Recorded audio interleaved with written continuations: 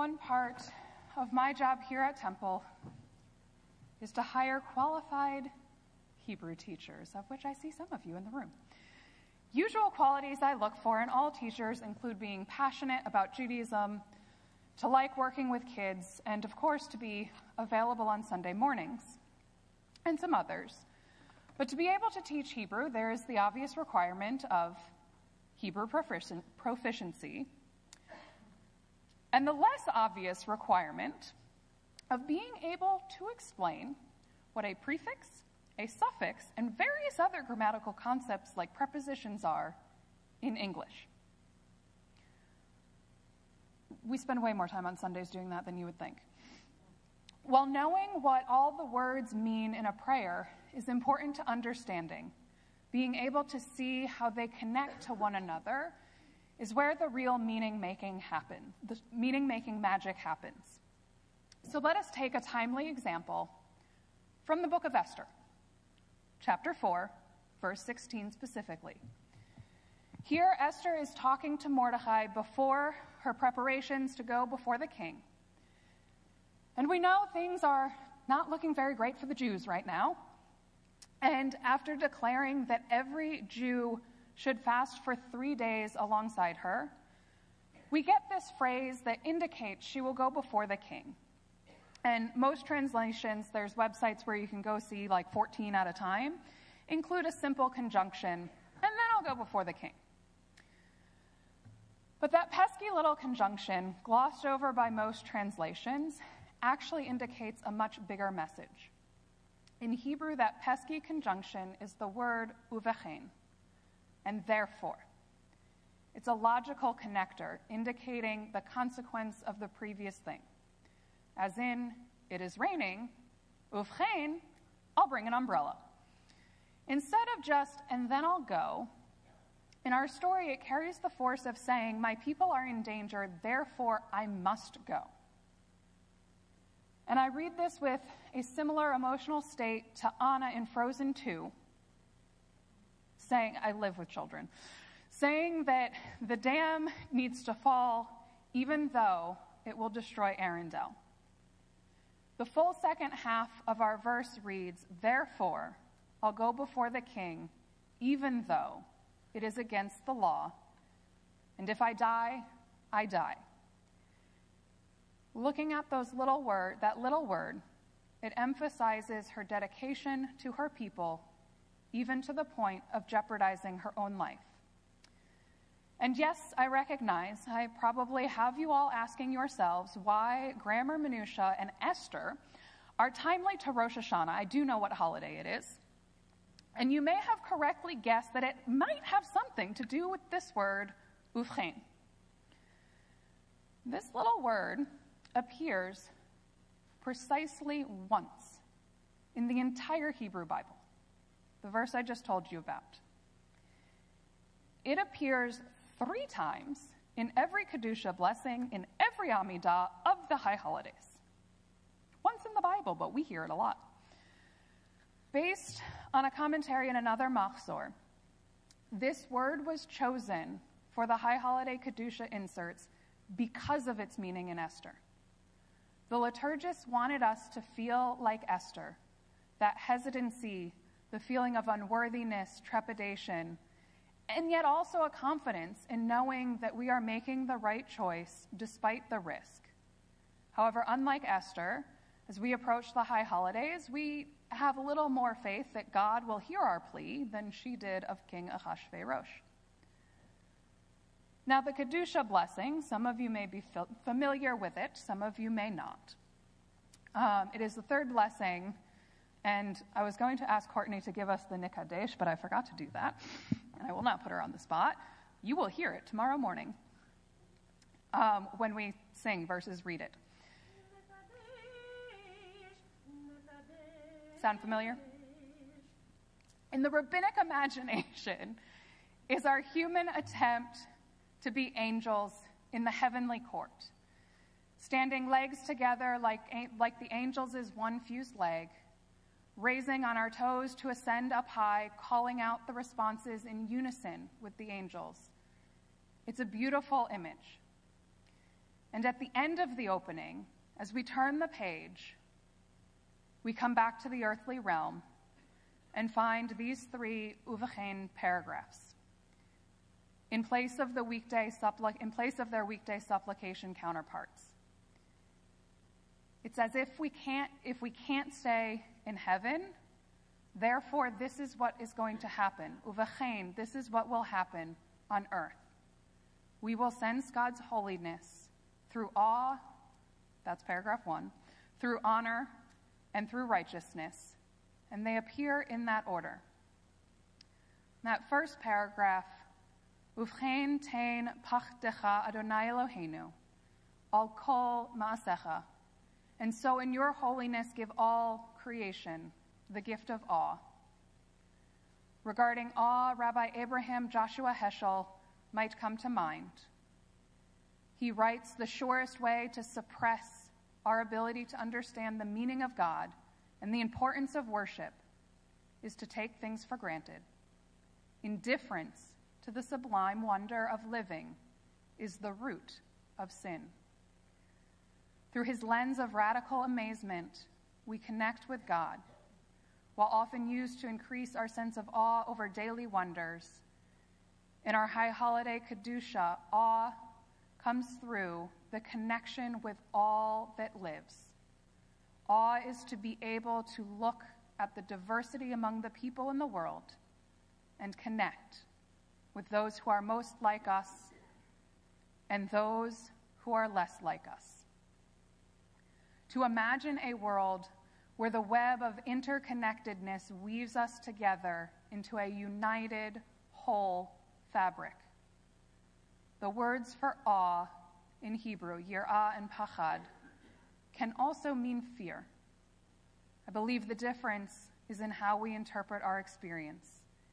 In the face of the inexplicable, our sense of faith and trust is what brings awe to the surface instead of fear. Esther goes before the king, though she feels of little merit, to say, Have awe for those in your kingdom who are different than you. Do not fear our ways as Haman does. Allow us to live freely and peacefully as we have before. Imagine having the same courage to spread awe in our world. As I think back on this past year, it feels like fear has all too often overpowered awe. We find security guards stationed to decide who can enter. We hear pre election political ads on all sides that are intended to rouse our sense of fear. Statements about Israel of any sort have been construed to imply far beyond their direct context. Calling for the return of the hostages gets taken as expressing apathy for the plight of the Gazan civilians and the reverse. And now we are seeing hostility because of one's Haitian heritage. And in the face of all of that, we plead so desperately to feel God's awe bringing connection, unity, and strength in the year ahead and so we say, Therefore, God, give us awe. And we turn the page. Uvchein tein kavod Adonai la'amcha. And so, in your great holiness, give your people the gift of honor. This second insertion in our prayer book, as, as our prayer book notes, reflects the yearning of the Jewish people, often marginalized, misunderstood, and despised for honor and recognition, a secure place among the nations. It is not that Israel seeks accolades, but we pray for security and safety. We ask God to continue to honor us as a single united people. Remember, we already have that unity from awe. And we strive to bring honor to the world. With the knowledge of our experience of slavery in Egypt, we know all too well the importance of safety and security for all peoples. On and after October 7th, the Jewish people learned painfully that many seeming Jewish allies were no longer at our side. It was a reminder that true allyship is unconditional. And I've heard from many of you that we feel more vulnerable, more isolated, and heartbroken by the anti Israel and anti Jewish rhetoric and actions here and abroad. Our community trip to honor our Holocaust scroll was canceled in part because of these sentiments. I have been asked countless times is it safe to come? When the world looks to us with fear instead of awe, honor cannot follow. Some of you may remember pre pandemic, I know that was a very long time ago, discussions of Kendi's book, How to Be an Anti Racist, which challenged readers to see their actions as one of two things racist, contributing to historical bias and inequity, and anti racist, or anti racist, actively dismantling that framework.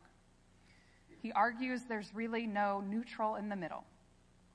If we use that same thought for honor, interaction with another either brings honor or dishonor to that person. There is no neutral. Therefore, we pray and remind ourselves to strive to make all of our interactions ones that bring honor to the world. And despite our lived experience, we as Jews continue to pray for a peaceful future for all through divine honor and through human honor. Through our acts of tikkun olam, we give honor to the vulnerable unconditionally. And it may feel self defeating as there will always be voices saying that we have not done enough. We know the work is great, we know the day is short, and we will not be able to complete the work. But we also know we cannot desist from doing it. Therefore, God, give us honor. And then we turn the page. Uvchein tzadikim yir'u v'yismachu. And so in your holiness, give the righteous the gift of a vision bright with joy, a world where evil has no voice.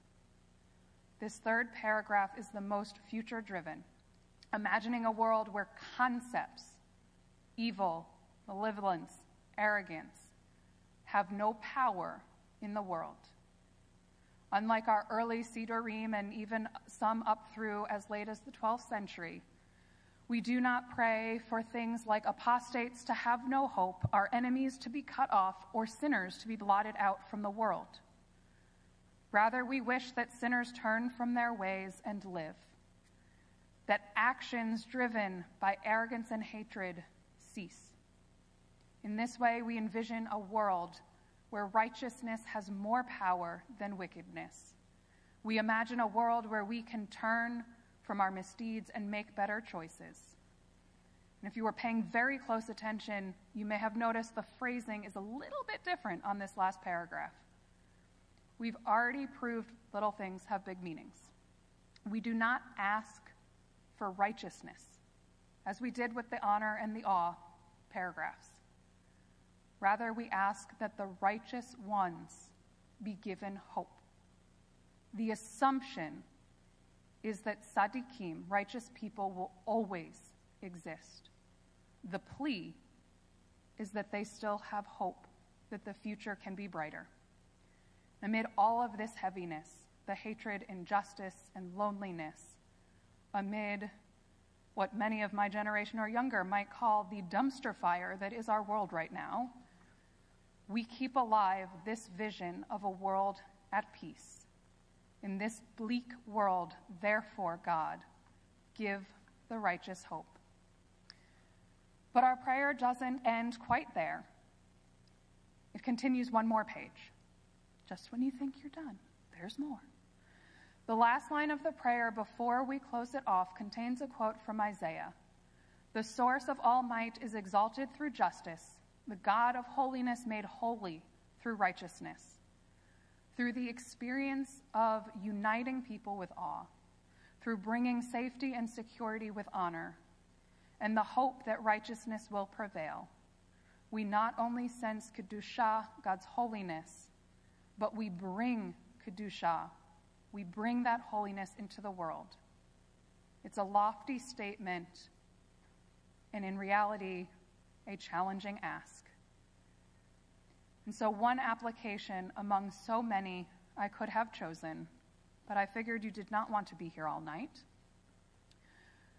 We've heard the claims against the Haitian community in Springfield.